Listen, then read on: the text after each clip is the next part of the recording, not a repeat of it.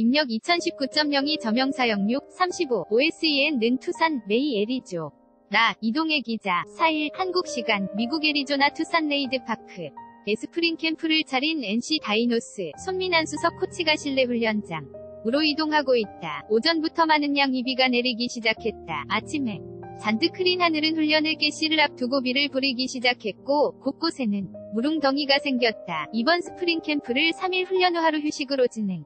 하는 가운데 첫 휴식을 앞둔 마지막 훈련 날이다. 비록 야외 훈련을 하지 못했지만 미리 비 예보가 있던 덕에 대비를 해놓아 훈련 소화할 수 있었다. 슬래시 EASTSEA 골뱅이 OSEN.co.kr COPYRIGHTS 스포츠 엔터테인먼트 전 문 미디어 OSEN 무단전재 및 재배